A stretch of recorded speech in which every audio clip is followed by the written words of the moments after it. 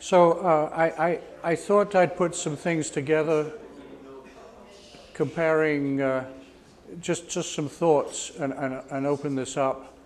Uh, the majority of my experience with SharePoint has been uh, SharePoint Workspace. Uh, uh, anybody know SharePoint Workspace? Used to be Groove.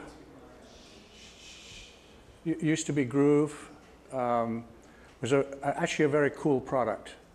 It was peer-to-peer, uh, peer-to-peer. Uh, you could have it on your laptop, uh, and it would synchronize with all the other people in the background. And, and, and you had a filing system right there on your laptop, which you could then disconnect and you have access to it. Uh, I, have worked somewhat with the regular SharePoint, um, and I put just some notes here to sort of compare the, to compare the two. Ah, we got something's happening. Anyway, uh, trying. Um, we've got two ways of thinking about MediaWiki. Ooh. Oh. Okay. Two, uh, uh, two, two ways of thinking about MediaWiki. Uh, one is that we're going to use pages, and the other one is we're going to use uploads. And, uh, and it's gone. So it's, it's obviously whatever. So that one looks like it's more reliable. Um, if, you, if you look at the, the page mechanism, uh, you're able to edit online. It's immediately available. The changes are immediately available. Uh, so there are, there are some advantages in, in currency. Um, if, you, if you look at SharePoint, it's basically bringing up uh, documents in there. So it's, it's any duplication that's happened between documents is kind of out, out of sync. It's data at rest, pretty much. Now, that would be the same if you used the uploads. So if you used an upload, uh, he, here is the major difference, and it's a negative for MediaWiki, I think, unless I'm missing something. The um, SharePoint comes already with the tools to be able to organize by folder and organized by an office administrator. That's it. And so you can set all the folder structures up the way you want it, and it's immediately available for them to do the organization. But MediaWiki right out of the box really has no, no organization mechanism for the indexes to the documents, whether it's a, a, a, direct pointer or you want to put them into, into um, a folder or an organization structure. Now, I believe it could be built. Uh, I was starting to play around with this the other day. I said, could, could I actually build a killer filing system uh, uh, on top of this, uh, use all the extensions that I wanted to, etc. And I actually started to have some problems uh, that I couldn't get through the file, the file page to find the property which would link me to the media itself. And since that property seems to be missing uh, from the file page, I couldn't actually construct the index, which would take me directly to the media, to, to the media uh, document. Uh, so I, I, I, didn't really pursue this, but I think it could be a, a, a project that, that could be embarked on to say, given out-of-the-box tool, and we talked about this a little bit earlier, not a platform, but a tool with, with, with page form support for an administrator to be able to set up folder structures and the indexes needed to, to do the same, same function. Yes?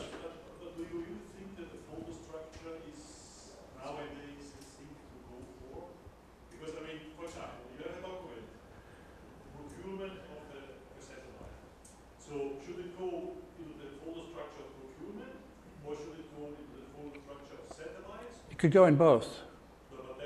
It's just an index. It's just an index. When you actually look at the way that it. I'm, I'm sorry, I can't hear.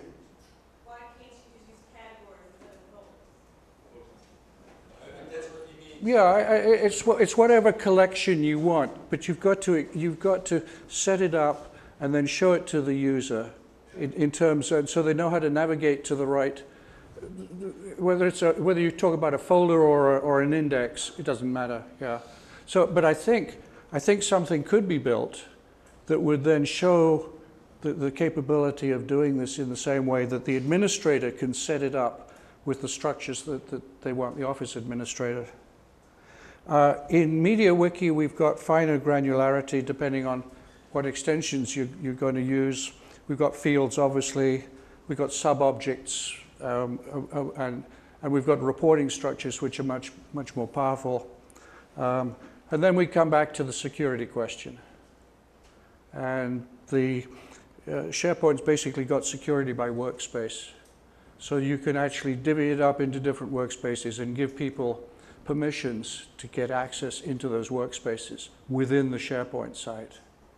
So it, it, it does have some level of granularity. It's not much, much more than that. Uh, but, and we're still at the security question uh, of how do you give access to portions of the wiki to, to, to named people. A- And that was kind of my summary of where I, I saw the, the differences between the two. I think the potential is, in, is great, and I think that, that MediaWiki could be shown to do this function um, and, and give an administrator the, the ability to be able to set it up. It- So just kind of back to organization by folders, uh, would be, so it's, Uh, I don't think I have it up here. I don't know whether. Um, so I, I think this, this is a topic that comes up at work all the time. So Yeah. it's a great topic. Um, as far as organization by folders, so you were talking about, well, you, you might be talking about also using categories, but is what you're talking about as far as getting a structure different than like what drill down currently exists is? So that's kind of how I understood of what you're talking about, is just visualizing the way you're categorizing your MediaWiki data. Well, I, I think it's more a, it's more a, a, a manual positioning. Th- these are all the things associated with this aspect of this project. Okay. And it's a, it's a manual placing, one done by the administrator more than anything. Yeah, because we, I mean, so our issue that we run into with, and why I, I don't think the SharePoint organization by folder is an advantage of it, but more of a disadvantage of it, is uh, a lot that we've been struggling with, um, and why we moved more and more of our data to, is that people's understanding of how data is related to something changes over time, right? Depending on what you're using on it. I think Lex gave like a really good talk on this a couple of years ago about viewing the Eiffel Tower from different directions and stuff. But um, for in our instance, we had for years uh, space shuttle flights that went up and they assembled the space station. So people thought of our data by space shuttle flight. All right. Now, since then, we've stopped with assembly and we've been real-time ops. And people who've worked there for almost a decade now never were involved in those space shuttle flights for newer people who arrived. So they don't relate that data to flights now. They relate it to hardware and to different dates that things happened. And so when you have, and we, so we had all this data was in different folders by flights, but people don't instinctively think to go and search in that way. So they're missing some of the data that's there, and because of that, they're also dupli- when they find that data, they're duplicating in a different place because they don't know it already exists in one. Um, Yeah, so that's a I- huge thing that we've seen as an advantage of MediaWiki is to be able to link things from different directions. Basically, you can get to the same piece of data from a lot of different locations. I, I think there's an advantage. I, I- I think it's, it's in the perspective of the users, though, and what they're used to doing, and they're still, they're still back in the, in the physical filing system mentality. And they're looking for that, they're looking for that folder structure, the same way as it's in Windows, and the same way it's in Unix. And, you know, it's a, it's a hierarchical structure. That's the way they, they understand it. But, but, I mean, I totally agree that, that there's better ways of doing it.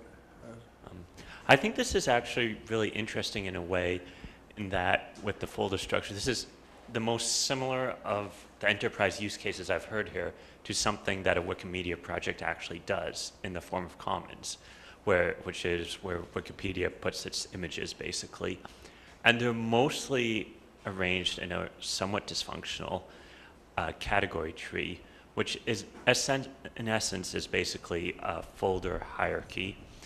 Uh, like you have a category named dogs, and then there's a subcategory of dogs in parks. I don't know. Um, there's a lot, uh, there's a bunch of things. Uh, Yeah, Right, there's right. like every way you can imagine. So it's all organized into a folder. Um, so this kind of approach to folder does exist inside MediaWiki, even without any fancy extensions. Um, I'm not sure how well it works, but I think we do have that implemented, more or less. Then, then probably what we, what, what, what maybe what we're su- I'm suggesting is we need some demonstrations of how to do that. Maybe rather than build something uh, t- tomorrow. I- I-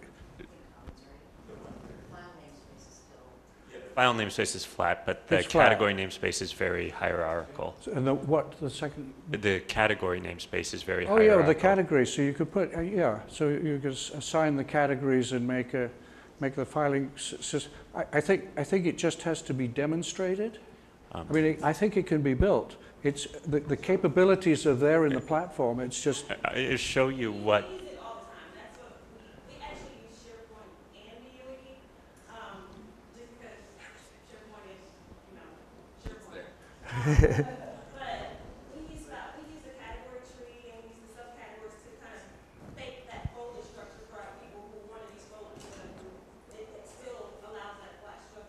okay. So I can show you. if you want. Yeah, I'd like to see that, yeah. So I, I- I haven't seen that, but yeah, you can use the category structure. I, I think it's, it's, it's part of, and, and, and it- it can be set up by an administrator? It, it's done by everybody. Okay, okay, yeah. This is part of that empowered user thing. Yeah, no, right, but, but when you're setting up category structures, you say, yeah, You can do that. yeah. Yeah, so for, for every farm that you have, you can assign categories, more than one. Yeah, and yeah, can assign properties, more than one. So that enables you in multiple ways to query the data. And if you want to query it by organization, or by folder, or by some tags that you have for a nice white dog with an, an orange or yellow flower around the neck, Right. you will find it, right? It's- Now, he- here's the question, though. Uh, I, I, I- you, you can do lots of things. Can an office administrator do that? And, and, and you're okay with that, yeah? But what you can do is have two full, two files called feed.jpg. Right, right, right. would you want to? So, so that's, so there's a file naming, there's a, there's a file naming constraint, and, and that's, that's, that's fine. Everything has a name. That name is for that thing. Right. What's that? 255 bytes ought to be enough for anyone. Exactly. So, so, yeah, so you, so, so I, I'd like to see that tomorrow. I think, it's the ease of use from, from an office administrator that I'd like, uh, I'd like to see that. So anyway, that was, uh, I guess that's one's gone. Oh, One, one comment I was just going to make, Darren likes to talk about this a lot as well, is one of the things that SharePoint is supposed to be optimized to do is to version and edit Microsoft Excel, Word, PowerPoint products and track changes. Yet how many people, at least definitely happens in our office, and probably in your orgs too, they're just emailing out copies or they're saying, please email me your edits to the Word document and I'll put them in myself. And they just completely ignore the baked in versioning capability of SharePoint. And I think that, from my perspective, is one of the things that SharePoint's not even doing what its core capability is supposed to be well. It's not intuitive to the users. Uh, the other thing is that so many, as, and I realize I'm speaking to the choir, but how many items are only put into Excel documents, Word documents, and PowerPoints because that's what people are familiar with. And even though it's only ever going to be viewed in electronic only format, they're just sticking to those products because the company has a SharePoint and it's in a Microsoft ecosystem. Uh, and then the third part of SharePoint versus Wiki is when people will say, well, let's just do a SharePoint Wiki. And that, so I, I don't think you, you touched on that in your, your comparison. Well, I was trying not to do that. Yeah, you, if you emulate the, with an uploads, that's what we're basically saying, that I, I, I think that you're going to get uh, and you're going to have something that looks the same and has all the same disadvantages. Yeah, yeah, I was just gonna go to say, almost the fundamental test there is if a basic user goes to any, any wiki page, that whole, every page is page one, they should be able to edit and make a change instantly. Whereas if a page isn't properly configured, or even a SharePoint Right. wiki page, if it's not properly configured, they're still not gonna be able to, to edit it Right. intuitively right Right. away. So that's the other, the third fundamental difference I see. Right. Um, the other reason that we have, uh, with people who want to stick to, uh, SharePoint, uh, for certain reasons is for dual editing, right? So SharePoint's main thing is li- you can live dual edit Microsoft Word documents between each other and see what each other are doing, add comments, go through.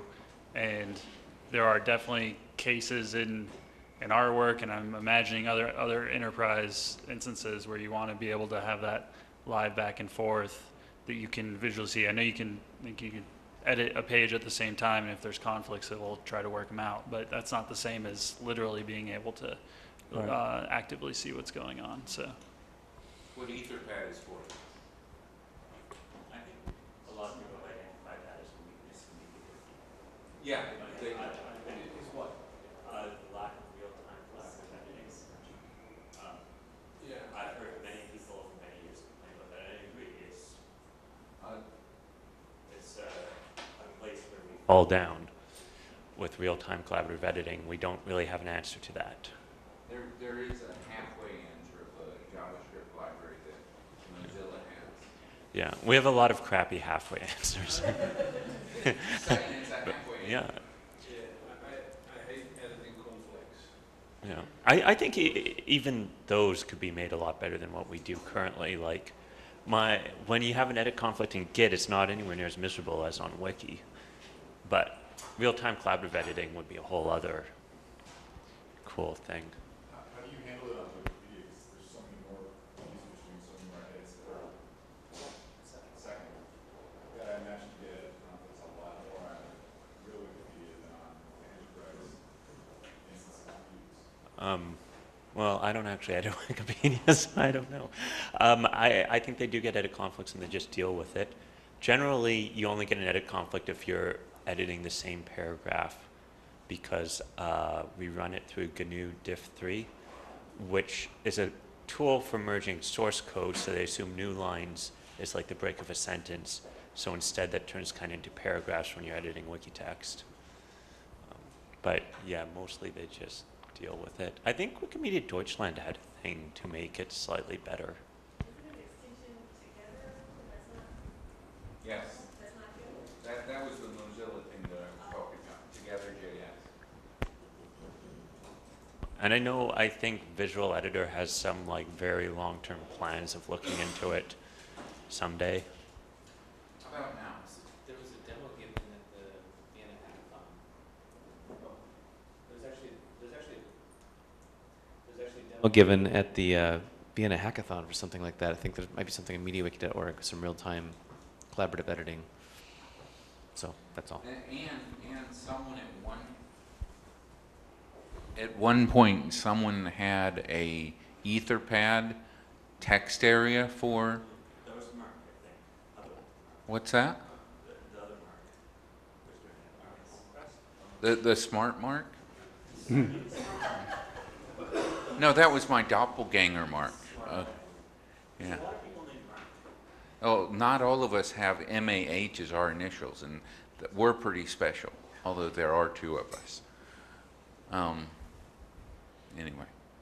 Does anybody else have a comment? If not, we can go